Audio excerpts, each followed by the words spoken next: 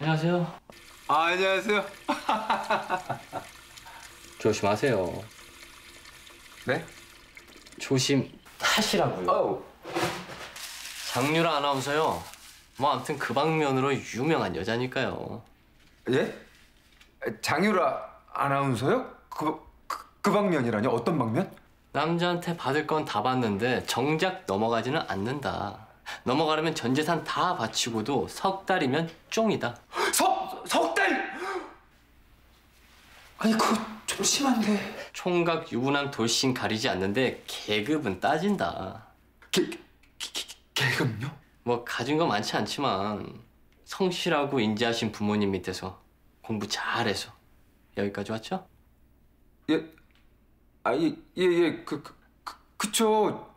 예, 마, 맞습니다. 그럼 당신이나 나 같은 흑수저들은 장률한테 남자 아니야. 예? 아무튼 조심하시라고요.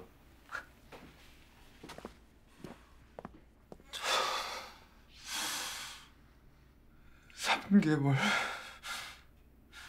아니야, 아니야, 아니야. 좀 더 갈 수 있어.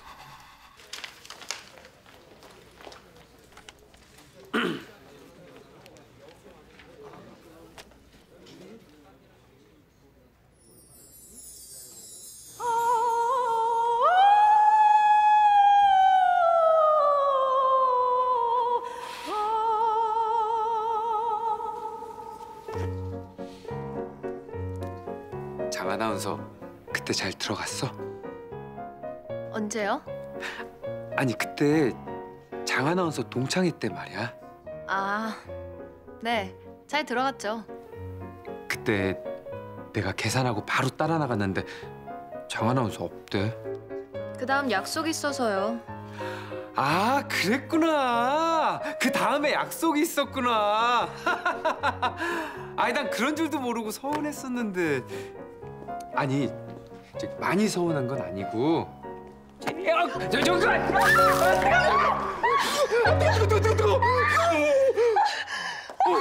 누구, 저, 저, 저, 저, 어, 저, 괜찮아? 어? 아니, 이거 어떡하냐, 어떡해, 어? 지금 뭐 하시는 거예요? 아니, 나는 저기